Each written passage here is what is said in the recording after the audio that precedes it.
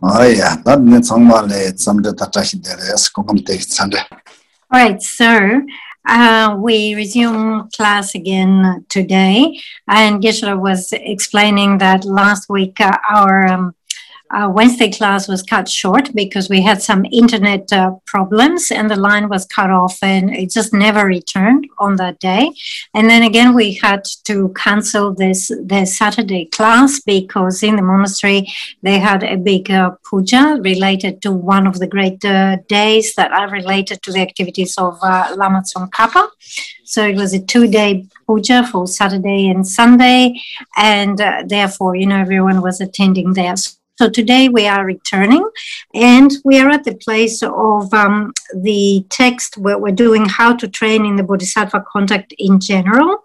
So this has two, uh, and and then how to train in the last two perfections in particular.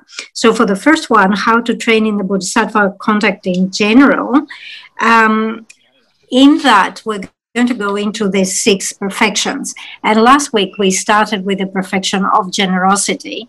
And as you can see here, it just gives a threefold classification of generosity. Basically, it says there are three types of generosity. But Geshe-la would like to supplement a little bit, some more material on generosity. Okay, so we have explained the first one. The first one is the supreme basis. The second one is supreme nature, or you could say supreme things because uh, this refers to practicing generosity with everything that can be given, right? Any, the nature of every entity, every object, everything that can be given, you are giving this. And also, when you are giving this, it's very good to never lose the thought from your mind that says, I'm giving, I'm giving, I'm releasing these items. Okay, the third one is supreme aim. So, supreme aim here means that I'm practicing generosity with the ultimate purpose or aim of bringing about the immediate um, happiness and the ultimate benefit of all sentient beings. So, to whomever I'm giving, I'm giving it in order to benefit them in the short term and in the long run. Okay, so we continue with number four, which is a supreme method. And uh, here, supreme method is said to be to practice generosity that is influenced by the non conceptual pristine wisdom. So, this non conceptual pristine wisdom is actually referring to direct realization of emptiness. Obviously, this can only refer to advanced bodhisattvas, but it cannot apply to someone who is a beginner. So, for the level of the beginner, this would refer to practicing generosity that is influenced with an intellectual understanding of the nature of phenomena. For number five, which is supreme dedication, whatever virtue we generate through this uh, practice of generosity, we generate it for complete enlightenment. And the last one, which is supreme purity, it means we practice this generosity for the purpose of uh, stopping uh, afflictive and knowledge obscurations. So it is said that when we practice generosity, it is excellent if we can tra- practice generosity that is complete in all these six supreme aspects. Mm-hmm. The other thing that is said is that when we practice generosity, but not just generosity, any of the other perfections as well, we should do it in a way that all the other six perfections are also present. Okay, so if we give an example here of um, practicing generosity by giving teachings, right? So we say that this is the practice of generosity. How can you do this so that it includes all the other types of the six perfections? So if you can actually practice restraining considerations that hearers and solitary realizers have, you have the perfection of ethics. If you have set your goal to reach the state of Buddhahood, and then you say, what I will practice generosity as a means to get there. And whilst I practice generosity, no matter what criticism or obstacles or harm other sentient beings cause to me, I will not become upset or distracted. So, this actually is the practice of patience as you're practicing generosity. Further, you can have this aspiration to increase your capacity for generosity or to increase your practice of generosity. So, this is the perfection of enthusiastic effort. Then uh, you can dedicate whatever virtue you create through your generosity towards enlightenment, but you do this dedication with single pointed concentration. So, this is the perfection of concentration. And finally, you have the perfection of wisdom because you have that understanding that you as the giver the gift that you are giving and the other person who is the recipient equally lack inherent existence. So this is how we practice with the combination of all six perfections so when we say that we practice, let's say here generosity that includes all six perfections, we have the generosity of generosity. So the generosity of generosity refers to yourself giving something to somebody else or also inspiring other people to practice generosity. So this is the generosity of generosity.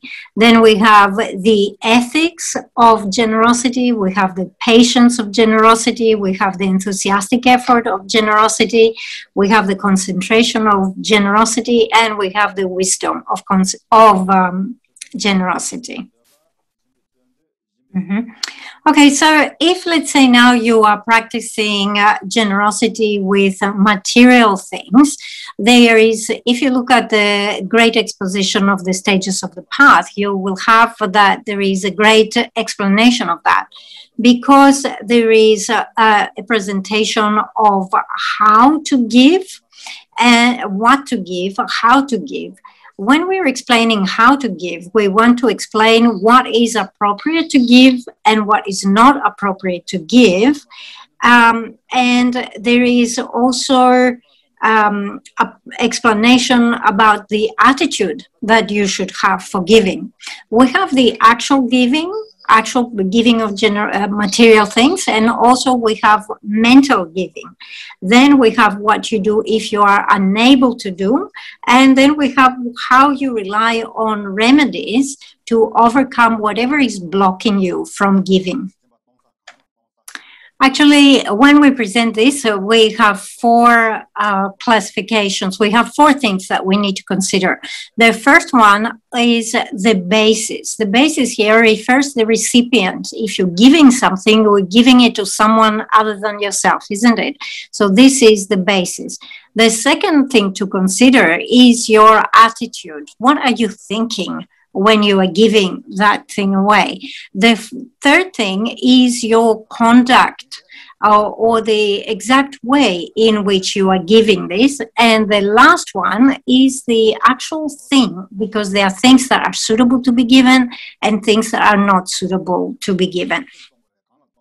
So we begin with the first one that is the basis. The basis here ba- re- refers to the recipient, and we have a list of 10 different types of recipients. So, number one in the list as are relatives friends who have benefited you. Number two are enemies who have caused you harm. Number three are you know other people let's say you know the average the neutral uh, person that has neither benefited you nor caused any harm to you. Uh, number four is those who have good qualities such as for example ethics. Number five is those who, ha- who have faults. So for example those who have confused or deteriorated ethics uh, number five are those who are inferior to you. Number six are those who are equal to you. Number seven, no, actually, this is number eight, those who are superior to you. And then the last two categories number nine is the rich and the happy, and number 10 is the poor and the destitute. Okay, so we have explained the basis, which is the 10 types of recipients, really. And the next one is the attitude or the motivation you should have when you give. So here we have two types of motivation motivation that should have three positive or good attitudes, and then motivation that is to be eliminated. So for the first one, motivation that is correct, and it should have three attitudes. What are those three attitudes? First of all, it is focusing on the purpose. So when you practice generosity, right, whether you're giving your body or your possessions or your root of virtue, you think, I do this practice of generosity in order to complete the perfection of my generosity. So you're focusing on this purpose. That's why I'm practicing generosity. I want to complete this perfection. The second one is you are focusing on the gift, on the actual thing that you give away. So when you focus on the gift, um, what happen, the way the bodhisattvas think, all right, they practice generosity is what I give right now belongs to others because I have already given everything, dedicated everything to others. So it is as they are receiving something that was kept in trust. So it is as if it was theirs from the beginning, and they gave it to me in order to keep it for a little while.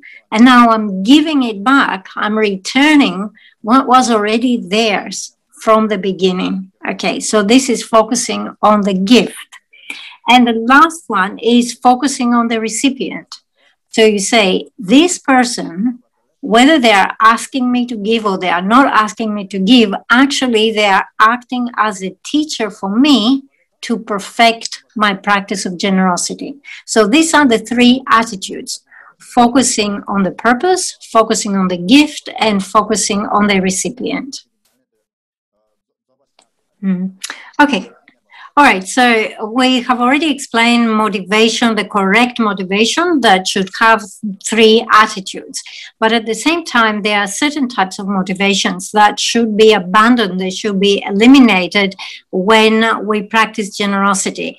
There is uh, um, seven or eight, a list of seven or eight uh, for those. So the first one is to believe in supremacy of bad views, right? So that means that you have wrong views, but you consider those to be correct. So, for example, you're thinking there's no result that comes from the practice of generosity, or uh, by doing bloody sacrifices, like killing animals, I can offer the meat and the blood to the three jewels, and this is a practice of Dharma. So these are wrong attitudes, and they have to be eliminated, wrong views that have to be eliminated from your motivation. Okay, the second motivation that should be eliminated is arrogance. So, what we mean by that is that you give something to someone who needs it, but at the same time, you despise the person or you put that person down. Or you, once you practice generosity, you are competing with others. You're trying to prove that you are their biggest sponsor, let's say. Or you have this idea there's no one who can practice generosity as I do. No one has the capacity to give as much as I can. So this is arrogance. The third one is called support. So your motivation should be free from support. And support here refers to having expectations for fame and praise. Thinking if I practice generosity now, people will say, oh, you know, what an amazing person, always gives. Right. So get rid of that expectation for praise. The fourth motivation to eliminate is uh, discouragement. So as you are preparing to to practice generosity, to give something, you should have joy. And whilst you are actually giving it, you should not generate any regret. And at any time, you should bring into mind the vast uh, acts of generosity that bodhisattvas are capable of doing. And from your side, generate this enthusiasm or this aspiration to say, I will also increase my capacity for generosity. So it's the opposite of regretting, being discouraged, limiting yourself, and so forth. Uh, the fifth one is you practice generosity, but at the same time, you turn your back on someone else. So this indicates that you have partiality. Uh, perhaps you will favor your friends. Uh, you will avoid uh, people you consider to be your enemies or strangers and so forth. So the important thing is to practice generosity with compassion and have this even mindedness that does not exclude anyone. The sixth one is uh, to eliminate the motivation of expecting something in return. Expecting something in return means you're thinking, okay, I'm giving this gift now, but I expect that they will also support me in this way or give me back another gift or, you know, do some favor for me and so forth. So you're giving, but you're expecting something. The seventh one is uh, getting rid of the motivation that is uh, having some expectations in terms of fruition. So, fruition here refers to expecting to see results in your next life. So you're thinking, if I practice generosity now, I will have an excellent body in my next life, and I will have great amount of resources. So I'm doing it so that I will be rich in my next life. So we shouldn't be making these calculations. We should consider that all those uh, material things do not have any essence, any substance. And what is of real importance is to reach the state of Buddhahood, right? So, thinking in this way, we should practice generosity uh, without having this expectation for to receive riches and wealth in the next life. You say, I have these material things that can be useful towards enlightenment, but otherwise they don't have other other purpose. Mm. Okay, the last one, number eight in the list, actually refers to motivation that comes with wrong livelihood. So, for example, what you're thinking here is that if I practice generosity now, let's say the minister or whatever the prime minister or whatever will notice me uh, and they will reward me or they will say that I'm a really important person and so forth. So, again, that's a wrong motivation, needs to be eliminated. Okay, so we have seen what is the right motivation we should have when we practice generosity. We say the correct motivation is an, a motivation that should have three attitudes. First of all, focusing on the purpose. So you say, I practice generosity now so that I can complete the perfection of generosity with the ultimate aim of reaching the state of full enlightenment for the sake of sentient beings. Second, we should have the attitude focusing on the gift, saying what I give now is something that belongs to others anyway. I was just temporarily uh, entrusted with keeping this object and I'm just giving it back. And finally, we should be focusing on the recipient, thinking that they are my teacher, helping me to perfect the practice of generosity. So these are the three correct attitudes to have when you practice generosity. All the other things that we mentioned are mistakes in the motivation, such as, for example, holding wrong views as being correct, um, having our arrogance, uh, having the support of expecting fame and praise and so forth, uh, being discouraged, and so on and so forth. So we give with the correct motivation. Mm. Okay, so as you see here, we are looking at the ways of practicing generosity. First of all, we have exp explained the recipients and we have given a list of 10 recipients. The second thing is the motivation. We said the correct motivation must have three attitudes and must be free of eight types of faults. So after the motivation, is how to give. In terms of how to give, we begin by explaining how not to give and then how to actually give. All right. So when we talk about how not to give, the first thing is not giving straight away, but delaying. So this is a mistake. If someone asks for something, you should give it straight away. You should not procrastinate. You should not delay. Mm. Okay, so the second way of, of which is not a correct way to give is to give under the distress of afflictions. So let's say someone is coming and requesting something for you to give, and actually for some reason you have become angry with that person all right. So once you are angry towards that person, it is not proper. It is not correct to give. The right attitude to give is to say, you know, this person is lacking something. They need my support. So I will give them. So you give, but not under the influence of afflictions and anger and so forth.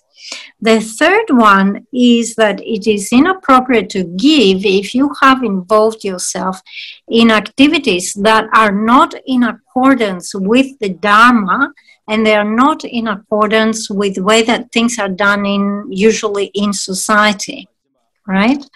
So if you are involved in any situation like this, it's not appropriate to practice generosity. The fourth one is uh, making giving, but actually giving less than you promised. So in the beginning, you have made the commitment and you say, I will give that much or I will give this good quality. But when it comes to the actual time of giving, you give less amount or you give an object that has an inferior value. So practicing generosity like this is not correct. Okay, number five in the list is giving in return for favors. And the way that you do it is by reminding them how many times in the past you have helped them. So you say, Remember, I've helped you in the past in this and that occasion, and I am also helping you now. So that is the wrong way to give. The next one is giving in small installments, although you are capable of giving the whole amount all at once. So if you have the capacity to give everything that you have committed, it's much better to do it quickly at once rather than dragging out the donation and just giving small amounts here and there. Okay, number seven in the list um, is applicable to those who have power. So let's say you become a ruler, like a king or something like this, and um, you might kidnap uh, the wife or the children of somebody else and give those as a present to somebody. All right, so this is inappropriate. Uh, number eight is taking things by putting pressure from your parents or from your servants. And those things that you take, although they are unwilling to give them to you, so you pressurize them and you take those things, and then you practice generosity with those things. Okay. Okay, the next one, um, number nine, is um, giving a gift that will harm somebody. So this is inappropriate to do. Okay, number 10 in our list is uh, to actually remain idle, like yourself, you're not lifting a hand, and you ask somebody else to give out the gifts. All right. So this is wrong because they say that if you actually practice generosity and you distribute the gifts with your own hands, there is much bigger merit that you accumulate. So it is very good to be personally involved uh, than just sit in the corner and ask somebody else to do the actual giving. Number 11 is giving to someone, and at the same time, you criticize that person and you deride them and you scold them. So imagine that you are scolding someone and you're putting that person down as you're giving them a gift, right? So, not appropriate. Okay, number 12 is giving once you go against the prescribed instructions of the Buddha. So the Buddha has laid down certain, um, let's say, I wouldn't say the law, but he has said some prohibitions, right? And if you violate those um, uh, whilst you're practicing generosity, it is inappropriate.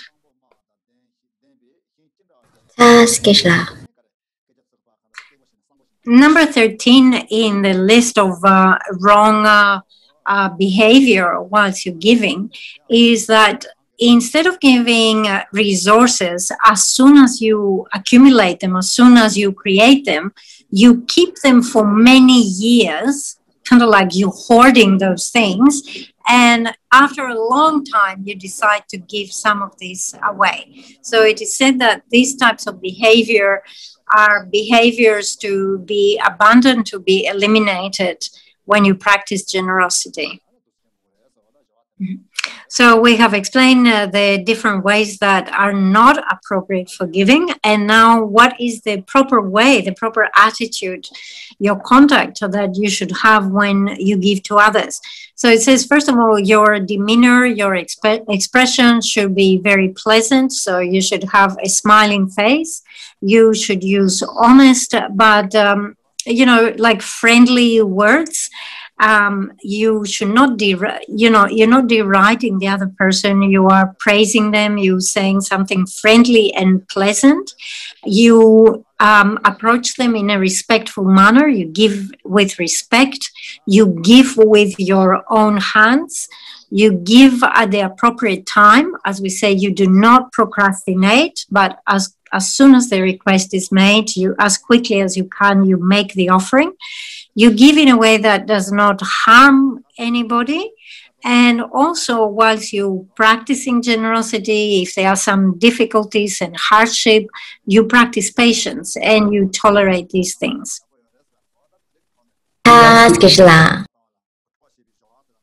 Okay, the other way in which we give is we give by helping others also. So the situation is like this. So let's say you have resources, uh, you would like to give things away. But there are other people who have resources, but actually they are very stingy. They do not want to give things away. They have not cultivated this practice.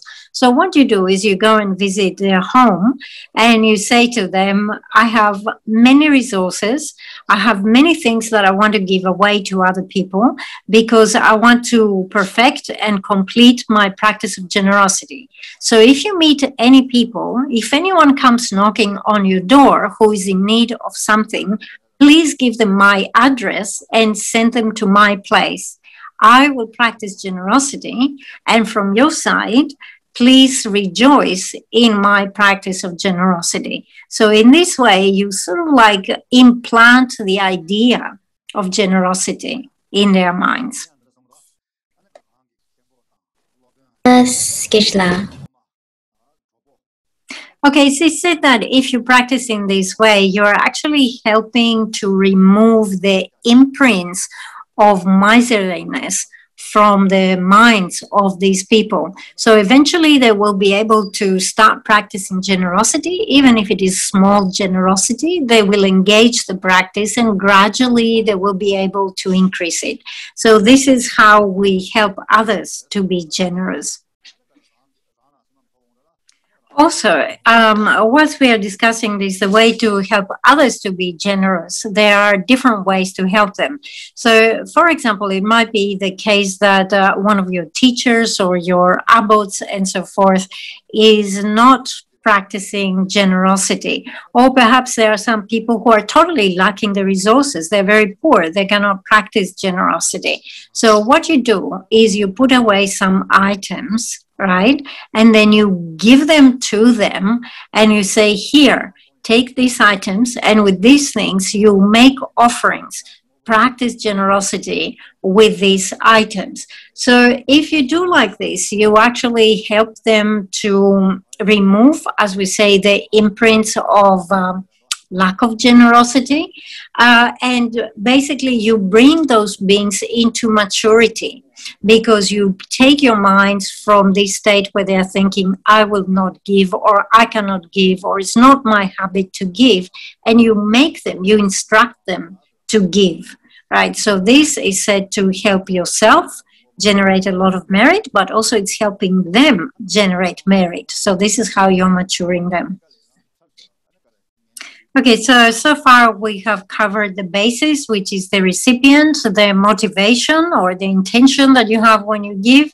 Then we have explained how to give, and we come now into the fourth uh, um, subheading, uh, which is the actual things, the gifts that you give.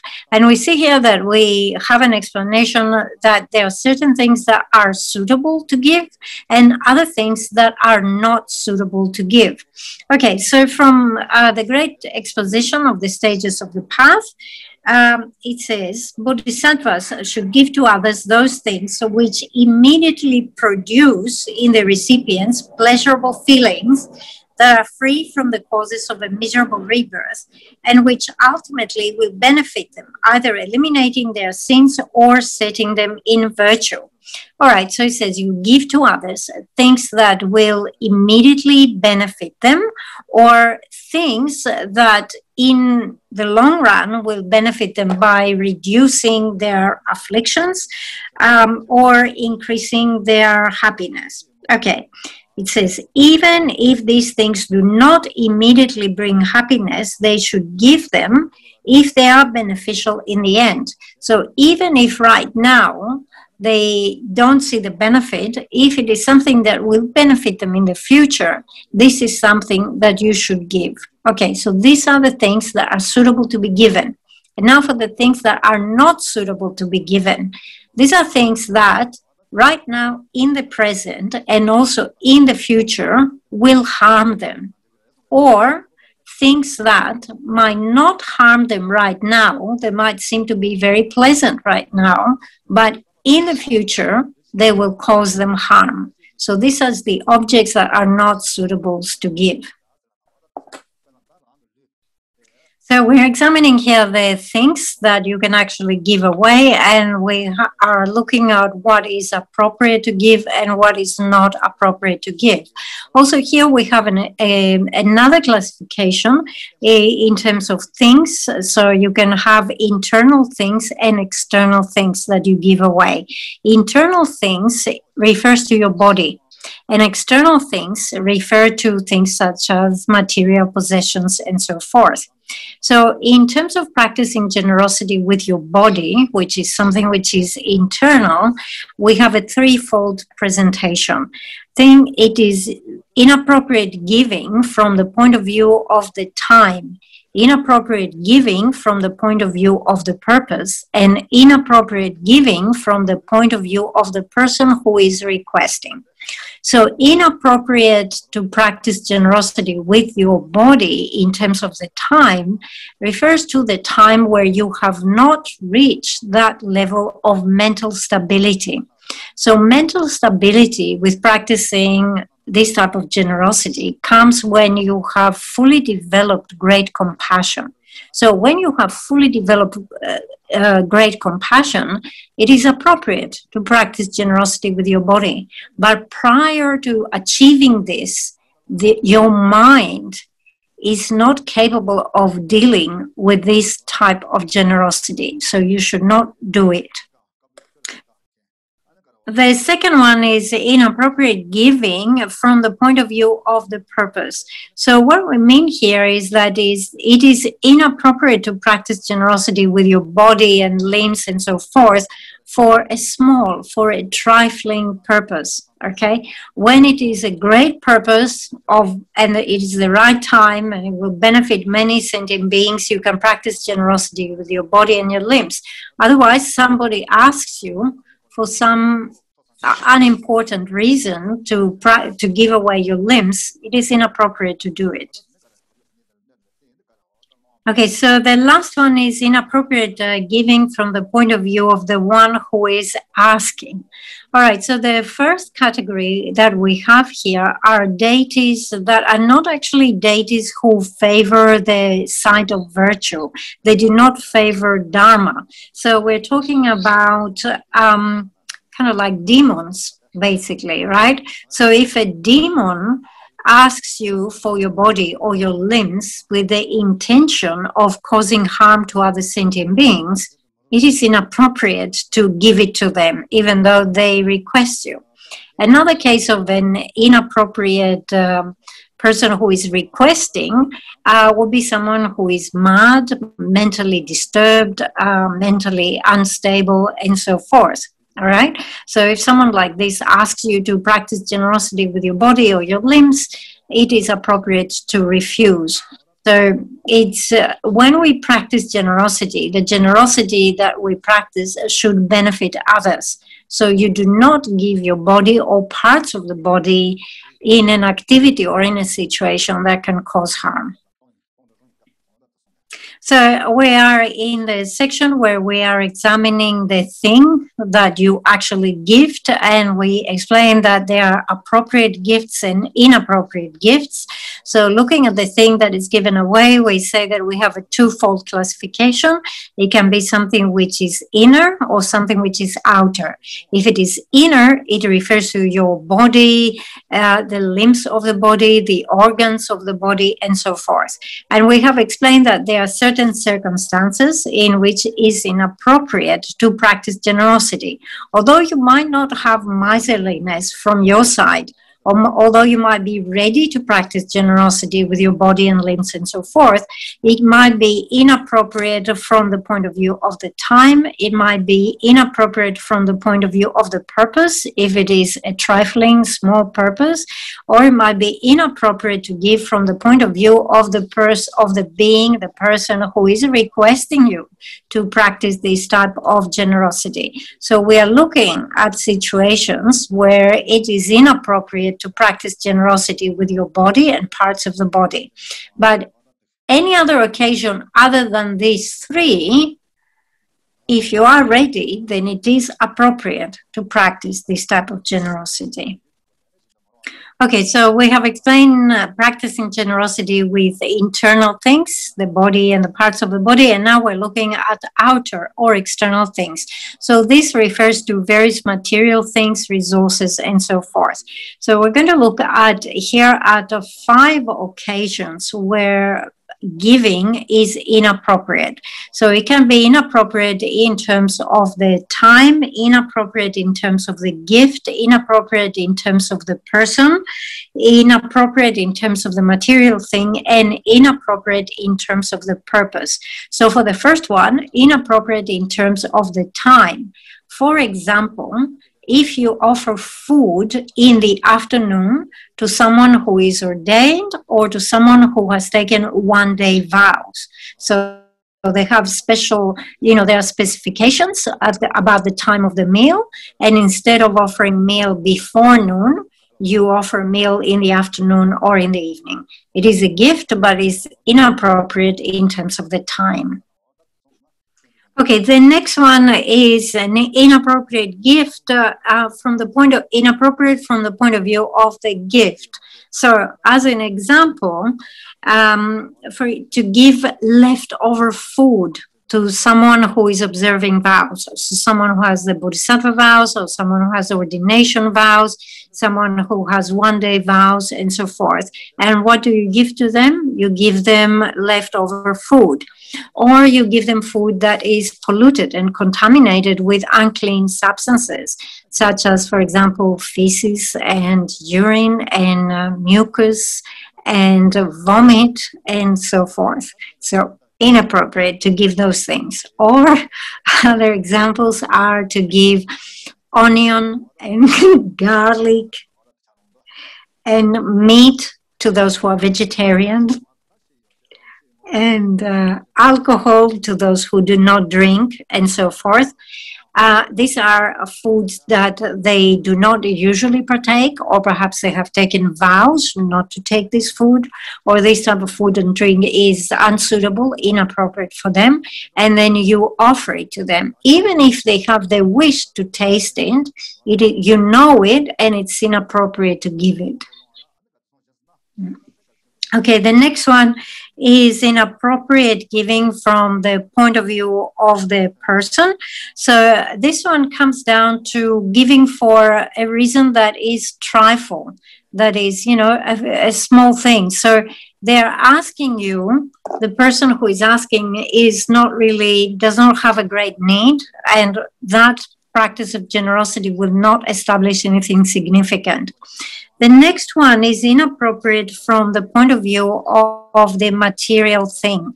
So let's say that you are offering food to your parents and that food is infested with insects. And so, so you give them rice, let's say, right? That has maggots and insects and so forth. So it's inappropriate. Another case that falls in this category is practicing generosity with your own wife or with your children and wanting to give them away as a gift to someone else, even though your spouse and your children do not want to go to this other household. The fifth one is inappropriate giving from the point of view of the person. So, someone is requesting you to practice generosity and give things that can actually cause harm to yourself or to others things such as weapons, poisons, different types of medicinal, you know, um, pharmaceuticals, let's say, uh, fire, alcohol, and so forth. Okay, so they are requesting you to give something for the purpose of causing harm to others. So you say no to that. Task Okay, so here when we explain external objects that are inappropriate to give, we present this in five ways because it can be inappropriate giving from the point of view of the time, uh, from the point of view of the gift, from the point of view of the person, from the point of view of the material thing, and from the point of view of the person. Okay, so having explained what is inappropriate to give, then what is right, what is appropriate to give. So uh, we must give things um, when the time is correct. When, so when the time is not prohibited by the Buddha, and we must give them with respect to the other person, and we must give something which is suitable and appropriate for the other person to receive. So this is what is suitable to give. Okay, so just uh, to recap what we have covered so far, we're talking about the actual way of uh, giving material things. So, in that, we have to look at how to give things away. Then, the next thing is what to do if you are unable to give. And the last one is the remedies for the hindrances of generosity. When we look at the first subject, which is how to give things away, we present this under four main outlines. First of all, we explain the list of recipients. Then we explain the, type, the right type of motivation to give. Then the third one is how to give right? So there are things that you don't give and so forth. Then it is um, the actual things, external and internal items that are suitable or not suitable to give. Okay, so having covered all this, we'll come to the next subject, which is what to do if you are unable to give. Okay, so let's say due to miserliness, you're not capable of practicing generosity. So, if this is the case, you should remind yourself that at the time of death, yourself and all your material possessions are going to be destroyed. They're going to be separated. It is certain that at the time of death, you will be separated from all these objects. However, if you were capable of giving it away right now, whilst you're still alive, it would benefit someone else who is in need. And in this way, you would even enjoy seeing someone else benefiting from that object, right? So, also, you think that if I don't give this now, if I don't give it away now, it means that my attachment will not be reduced. And also in the future lives, I will have even less to give away, and it will be even more difficult for me to practice generosity in the future. So, thinking along these lines, you kind of motivate yourself to overcome your difficulty of giving. Uh, Okay, so um, we come to the next subheading, which is the antidote, antidotes that we rely upon when we find that there are hindrances to practicing generosity. Actually, in the text, we have four types of hindrances. The first one is that you're not used to, you don't have familiarity with practicing generosity. The second one is decline in your fortune, in your resources. The third one is that you have a lot of attachment. And the fourth one is that you do not see the result of generosity. Okay, so for the first one, there is hindrance. Something is stopping you from practicing generosity. And that, that thing is your lack of familiarity. So someone comes and asks you for something, and although you have the capacity, you have the resources, you could give something away, you find that something is stopping you. At that point, you should analyze the situation and say, I understand what's happening here. I'm not eager, I'm not ready to practice generosity because this is not something that I have practiced in my past life. Therefore, I lack familiarity with this practice. So I should try to overcome this. And I should try now to place the imprints and familiarity with generosity. Because if I don't make this effort now, it will be even more difficult in my next life. Again, I will not want to give anything away. So just recognize that it is lack of familiarity from previous life and make an effort to overcome this. Okay, we come to the second hindrance, uh, which is hindrance due to having very few resources, like the decline, your fortune has declined. So it might be the case that actually you have very few possessions, you are a very poor person, and therefore you know, the thought, perhaps the thought of practicing generosity arises, but somehow you cannot bring yourself to give to others from the little things that you have. So, if this is the case, you actually have again to analyze the situation and say, How come I am so poor? In this life? Why is it that I don't have resources to give away? It is because in my past lives, as I was uh, circling around in cyclic existence, I didn't make the effort to help others. I didn't give things away to others. I didn't practice generosity. So now in this life, I find myself with very limited resources. So to reverse this pattern, what I have to do is definitely I have to give things to others in order to help them and benefit them. And even though that means that I will have to suffer, let's say I have to go hungry in this life and so forth, this is a type of suffering that I should tolerate uh, because I need to reverse this pattern of you know, poverty that has come from previously not helping others, not giving to others. Okay, the next uh, hindrance is the hindrance of attachment.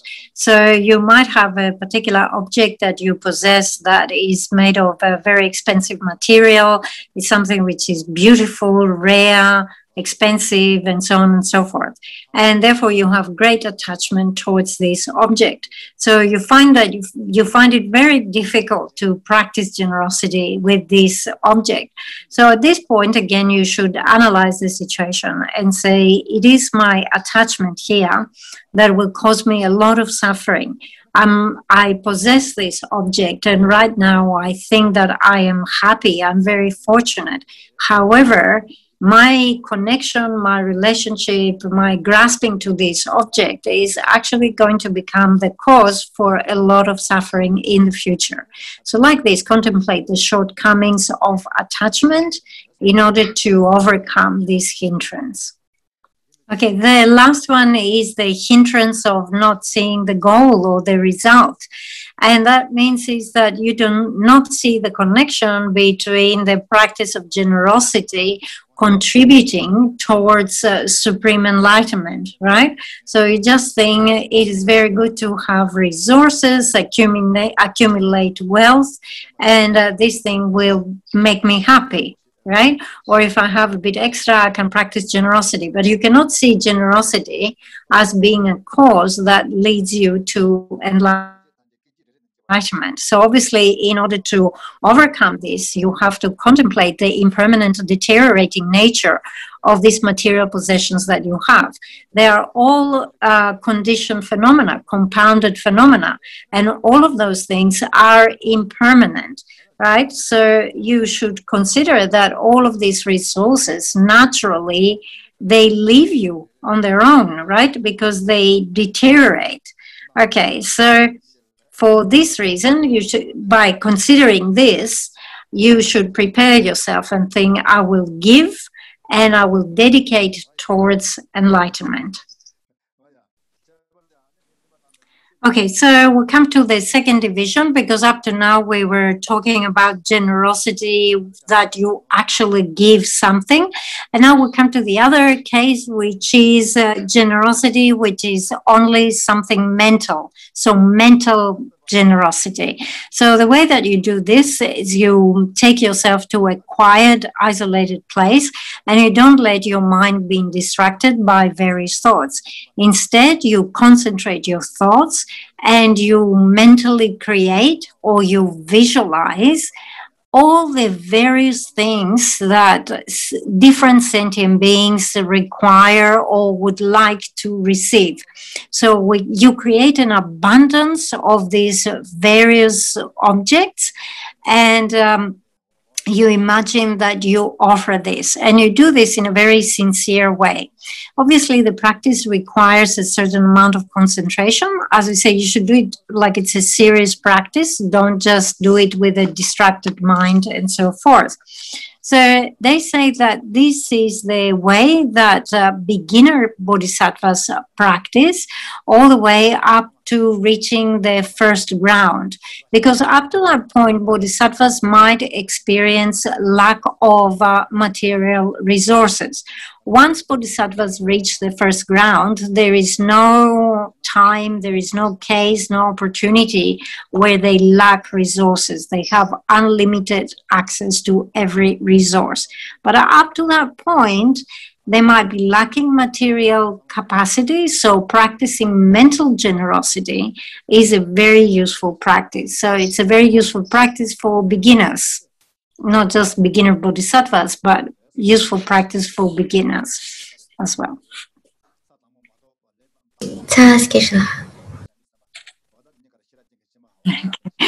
So uh, we're just going to summarize here the perfection or the practice of generosity. So you say you take the Bodhisattva vows, and having taken the vows, you make a lot of aspirational prayers to be able to learn uh, this practice of generosity and to be able to apply it. You will be able to do this when you reach the higher grounds.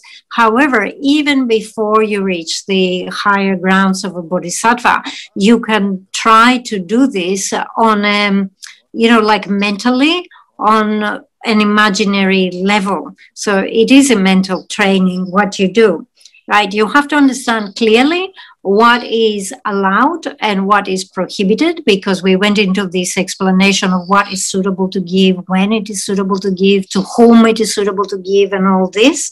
And uh, if you do the practice with a certain amount of respect, understanding what is permitted and what is not permitted, uh, you should do this with a lot of respect for the practice and for the recipients. Okay. In particular, you must apply antidotes to overcome uh, your attachment so that you will be able to give away your body, your resources, and your root of virtue.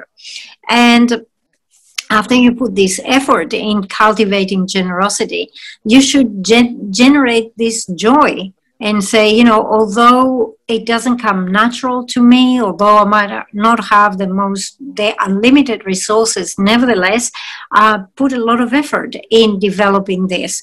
And if I don't put this effort, it means it will be even harder in my next lives. But what I do here is I put, you know, the foundation for practicing generosity. And even if you're not able to complete the practice in this life, with this attitude, you will be able to complete it soon in your next life. So um, this is you know, this is the great way of practicing in the first one of the six perfections, which is the practice of generosity.